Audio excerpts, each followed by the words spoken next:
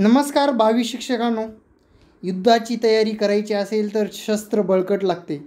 त्याप्रमाणेच विद्यार्थी मित्रांनो आणि भावी शिक्षकांनो आपल्या या ग्रो एज्युकेशनल चॅनलवर सर्वांचे स्वागत आहे. तर विद्यार्थी मित्रांनो परीक्षेपूर्वी आपण अभ्यासक्रमाबद्दल बोलत आहे. म्हणजेच ते आपलं शस्त्र आहे ते बळकट असलंच पाहिजे. तर विद्यार्थी मित्रांनो आगामी आगामी शिक्षक भरती होणे आहे. कारण तर विद्यार्थी मित्रांनो जर एकूण विचार केला तर मागच्या काही दिवसापासून आपली अभियोगिता चाचणी झालेली नाही किंवा काही वर्षापासून टी ई टी परीक्षा पण झालेली नाही. तर विद्यार्थी मित्रांनो सगळ्यात महत्त्वाचं या टी ई टी भर परीक्षा व अभियोगिता चाचणीसाठी असणारा सिलेबस आपण आजच्या व्हिडिओमध्ये डिस्कस करणार आहोत. सर सदर परीक्षा एकूण दोनशे गुणाची राहील. तसेच परीक्षेसाठी पुढील प्रमाणे दोन घटक राहतील. तर परीक्षेमध्ये एक सुरुवातीचा घटक असा आहे अभियोगिता. याच्यामध्ये साधारण विषय कोणते आहेत? मी तुम्हाला पुढे सांगणारच आहे विद्यार्थी मित्रांनो. याच्यामध्ये बघा साठ टक्के शेकडा साठ टक्के एकूण परीक्षेच्या प्रश्नाच्या साठ टक्के प्रश्न हे अभियोगितेवर असतील. एकूण गुण असतील एकशे वीस. एकूण प्रश्न असतील एकशे वीस. बुद्धिमत्ता जे की गणित आणि रिझनिंगवर अवलंबून असतात. चाळीस टक्के त्याच्यावर प्रमाण असेल. एकूण गुण असतील ऐंशी. आणि त्याचे एकूण प्रश्न पण असतील ऐंशी. तर एकूण दोनशे गुण आणि दोनशे प्रश्न हे ते आपले क्लिअर झालेले आहेत. तर विद्यार्थी मित्रांनो पाहू शकता याच्यामध्ये बरेच विद्यार्थी प्रश्न विचारत होते मला.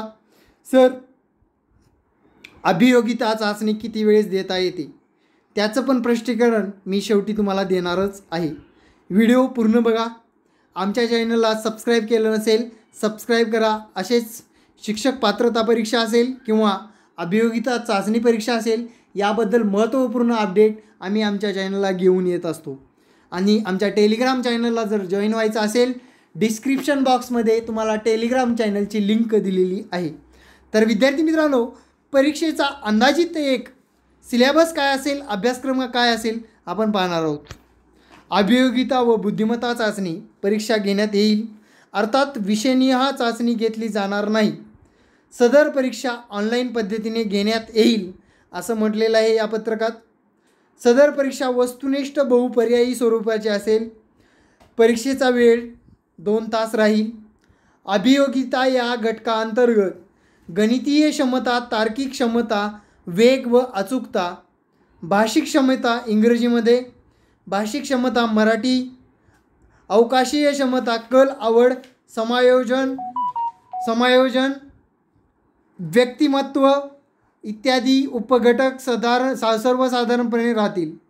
बुद्धिमत्ता या घटकाअंतर्गत आकलन वर्गीकरण समसंबंध क्रमश्रेणी तर्क व अनुमान कूटप्रश्न सांकेतिक भाषा लयबद्ध मांडणी इत्यादी उपघटक सर्वसाधारणपणे राहतील. तर विद्यार्थी मित्रांनो आपले साठ टक्के हे प्रश्न मराठी व्याकरणावर असू शकतात. तसेच बघा भाषिक कौशल्यावर आधारित असतात. क्षमता कौशल्य कल आवड समायोजन अभियोग्यता चाचणीमध्ये विचारले जाऊ शकतात. त्यानंतर बुद्धिमत्ते चाचणीमध्ये सर्व काही रिझनिंगचे क्वेश्चन तुम्हाला परत परत विचारले जाणार आहेत. तर विद्यार्थी मित्रांनो जे की आपल्याला साठ साठ चाळीसचा पॅटर्न आहे येथे दाखवून दिलेला आहे. नमस्कार विद्यार्थी मित्रांनो असं साठ चाळीसचं पॅटर्न असेल एका उमेदवारालाच कमीत कमी पाच वेळेस परीक्षा देता येणार आहे. बावीस शिक्षक होण्यासाठी आपल्याला पाच संधी न गमवता एका संधीमध्येच भरपूर मार्क घेऊ. आपलं शिक्षक सेवक पदावर रुजू होण्यासाठी जे स्वप्न आहे ते साकार करायचं आहे. तर माहिती आवडली असेल तर आमच्या चॅनलला लाईक करा सबस्क्राईब करा आणि सदर पोस्टसाठी किंवा सदर माहिती ज्यांना आवश्यक आहे त्यांना शेअर करायचं आहे आपलं चॅनल. धन्यवाद. जय हिंद. जय स्वच्छ भारत.